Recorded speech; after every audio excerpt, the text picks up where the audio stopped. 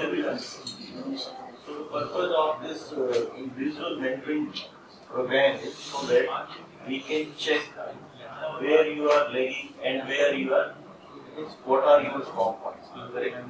So we have our regular test series and you take all the tests. So this individual mentoring program is especially designed for our students so that they can find where they stand learning through the classroom. That is one aspect. And second aspect is when you perform in the test. And this test is basically judge you in comparison to other students. Fine. Suppose uh, Pallavi has taken one exam and she has got 28 marks of the course. Right? So you are getting 75.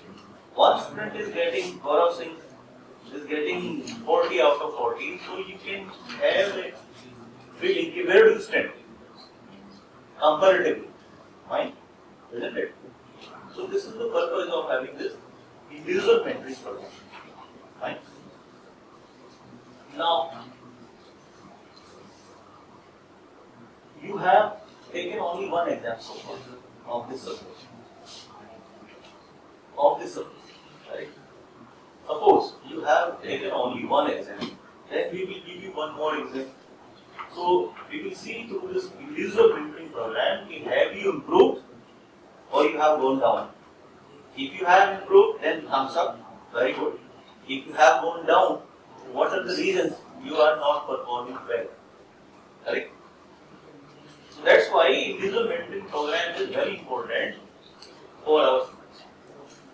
So that you can overcome your problems if you have some problems in your classroom learning. Because if you are not performing in the test, there may be two reasons. Two reasons. Reason number one, you are not attending the classes regularly.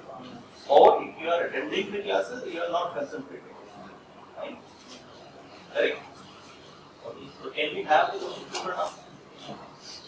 So in this question paper, you can see that the first question says the addition of two binary numbers in binary representation case. All of you have done it?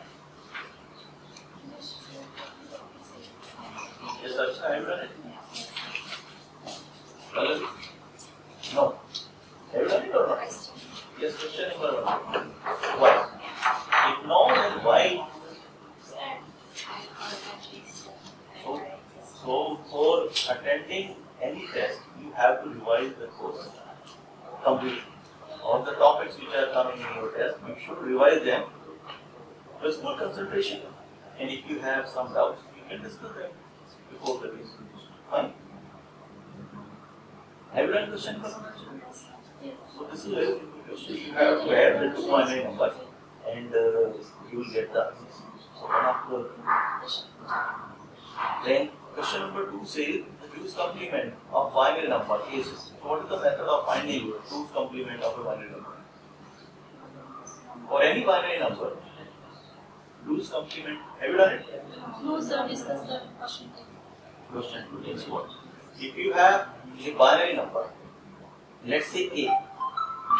If you want to find the two's complement of binary number A, the method of finding two's complement is 1's complement of A plus 1.